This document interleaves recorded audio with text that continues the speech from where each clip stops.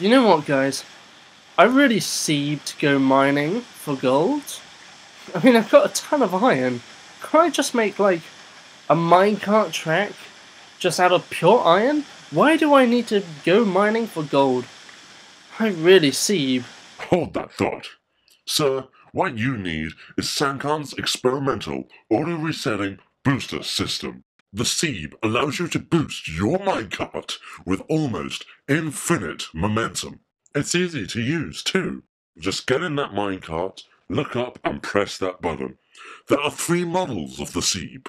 The SEAB Mini, for those short journeys which require transport. The SEAB Queen, for those journeys which are a bit too far for the Mini. The King SEAB, for the times where you are going to a far off land on a long ride with a minecart. Each SEAB can take more minecarts too, allowing you to go even further than before. And it requires no redstone and no gold. That's right, you heard me. No redstone and no gold. Look how far SEAB will push you.